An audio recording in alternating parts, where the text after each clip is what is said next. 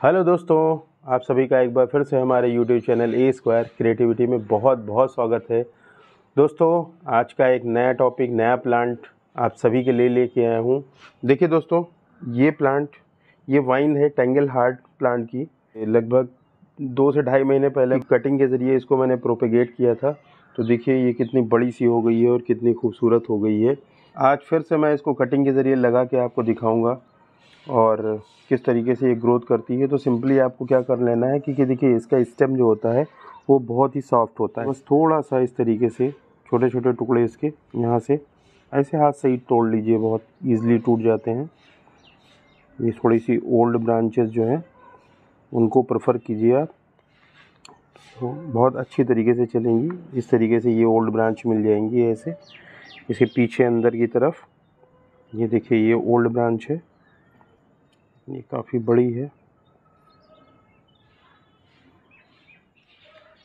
इस तरीके से मैंने इसकी ये ब्रांचेस ले ली हैं। देखिए दोस्तों, इस प्लांट को कटिंग से ग्रो करने के जो तरीके हैं, जो भी इसमें चीज़ें रिक्वायरमेंट हैं, उन सभी चीज़ों को मैं स्टेप बाय स्टेप बहुत ही डिटेल में अच्छी तरीके से आपको बताने वाला हूँ। प्लीज़ वीडियो में बने रहिएगा स्किप मत कीजिएगा।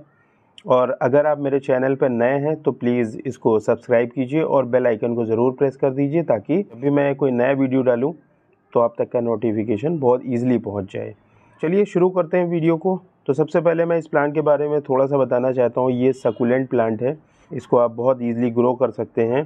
तो आप छोटे से छोटे पॉट में भी इसको लगा सकते हैं। बहुत ईजिली ग्रो करता है। बहुत कम पानी की ज़रूरत होती है। अगर आप इसको हफ़्ते में एक से दो बार पानी दे देते हैं तो ये बहुत ईजिली सर्वाइव कर लेता है।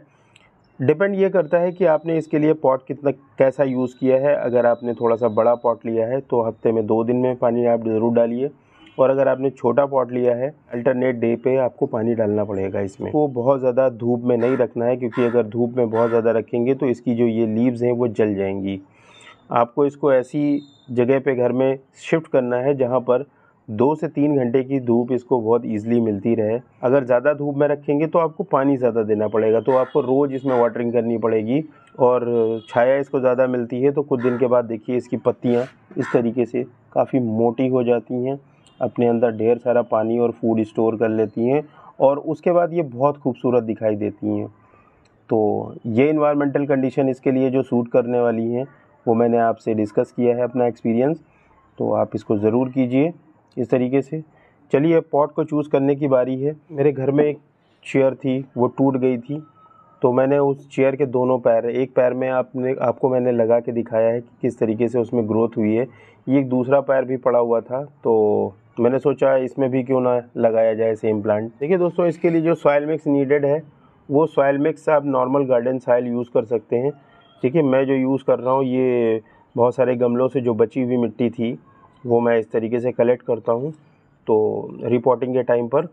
तो मैं इस मिट्टी का इस्तेमाल कर रहा हूँ आप नॉर्मल गार्डन सॉयल भी इस्तेमाल कर सकते हैं उसमें 10 से बीस परसेंट कोकोपीट या आप काऊ डंग का भी इस्तेमाल कर सकते हैं। पहले आपकी वेल ड्रेन होनी चाहिए पानी इसमें बहुत ज़्यादा रुकना नहीं चाहिए। सबसे पहले हम लोग क्या करते हैं कि इसका जो ड्रेन होल है उसको कवर करने के लिए इसमें एक ये पत्थर का टुकड़ा डाल देते हैं और उसके बाद इस मिट्टी को इसमें फिलअप कर लेते हैं।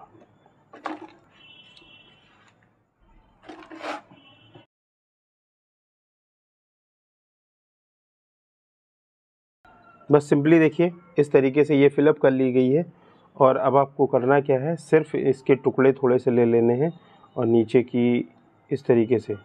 ये मैंने टुकड़ा लिया और आपको धीरे से इसमें ऐसे इसको लगा देना है बस।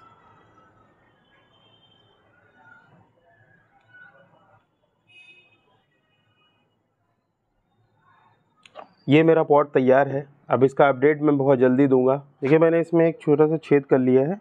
अब इस छेद के ज़रिए नेल में इसको मैं टांग देता हूँ।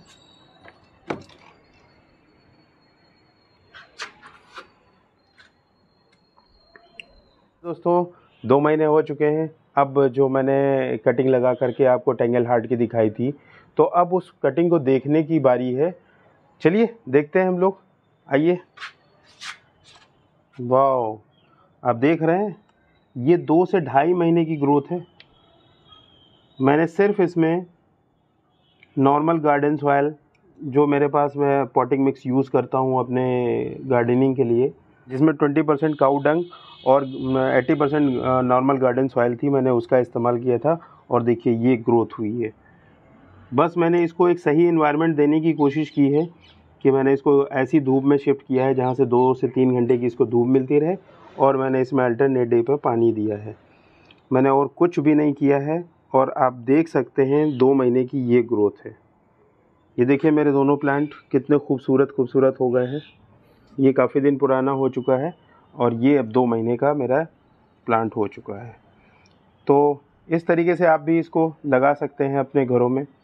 बहुत ही इजी तरीका है कटिंग से ग्रो करने का और बहुत ही खूबसूरत प्लांट दोस्तों आई होप आज का जो टॉपिक मेरा था टेंगल हार्ट का एक सकुलेंट प्लांट और उसकी जो इन्फॉर्मेशन आज चैनल के माध्यम से आप तक के पहुंचाई गई है कि उसको कटिंग से किस तरीके से हम ग्रो कर सकते हैं, वो आपको पसंद आई होगी। अगर पसंद आई है तो प्लीज़ लाइक कमेंट शेयर और सब्सक्राइब कीजिए मेरे चैनल को और आपकी तरफ़ से रिस्पॉन्सेज शो होते हैं। तो एक्चुअल में दोस्तों बहुत एनर्जी मिलती है और एक इफ़िशियंटली काम करने का मन करता है। कि आपके लिए जब भी मैं वीडियो लेके आऊँ तो धमाकेदार वीडियो लेके आऊँ। कुछ एक्साइटिंग कुछ अलग मैं आपको बताने की कोशिश करूँ। धन्यवाद आप सभी लोगों का। और मिलते हैं नेक्स्ट वीडियो में एक नया टॉपिक लेकर के और एक नई एनर्जी के साथ में। Okay thank you very much for watching my videos okay